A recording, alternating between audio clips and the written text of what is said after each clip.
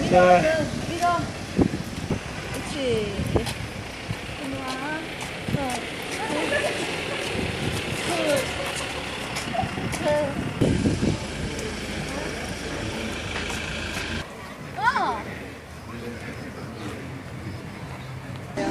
아유 이게 처녀같이 예뻐요.